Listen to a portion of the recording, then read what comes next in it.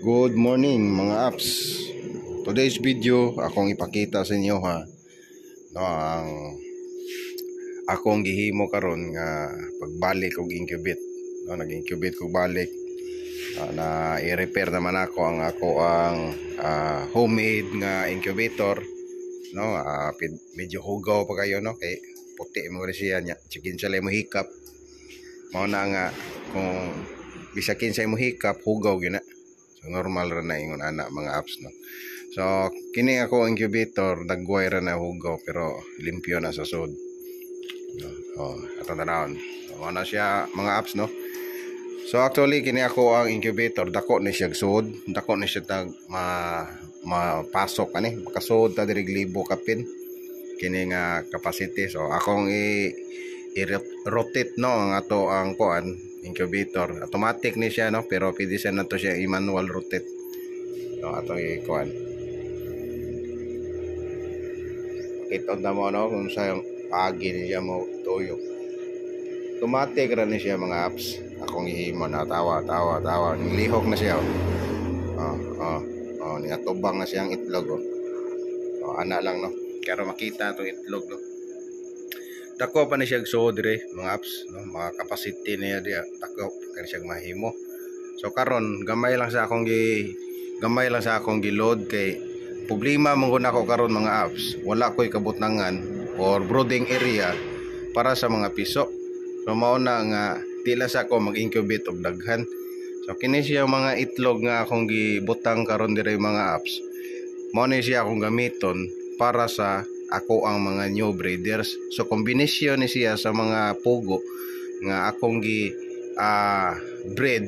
Tapos ang ilahang itlog nila moto sila ay ako ang uh, kanaang papusaon. Himuon akong breeder para nga himong ibangga na ko sila.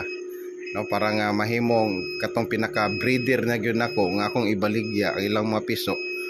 Ang ilahang mga resulta ilang mga offspring nila mao na toy para baligya nako nga mga piso. So mao ni sila karon mga apps. Naghimo ko karong mga breeder no? Naghimo ko mga breeder. So kini sila gikan nila sa mga uh, breeder nga inahan no? Laylain na sila og mga kagikan para nga dili sila mahimong mag crossbreed so kung mag crossbreed mo ama uh, no no sayop so kinanglan dili mag inbreed so mo na nagkuha kog mga lain-laing source sa ato ang mga uh, amigo kaila no nga nakuhaan og source sa mga pugo. So may akong gigamit naghimo ko karon og breeder.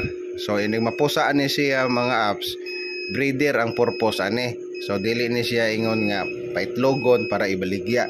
So ang yang purpose niya kung mahimo na ni siyang pugo breeder lang yun siya.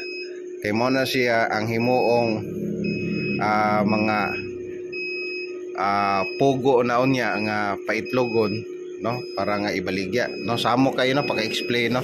So kamo na lang sabot. So mo ni siya to ang incubator simple kayo ang atong pagkahimo ani.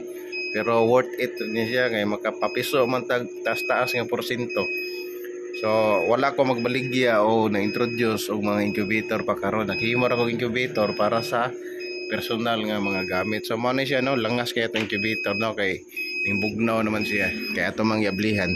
So, nya taon mobalik na ni siya sa iyang normal nga temperature. So, ato sa pailomon kay langas kay ayos tanan. Ana ra na siya pagpahilom pislito na na siya mo na nga kung inyong asawa langas kay inyong asawa pislita lang na. Oh, ay kasuko dia. Mo na no. So pareha na sa incubator inyong asawa kung inyong asawa langas kista na pislita lang. No, mara siya na.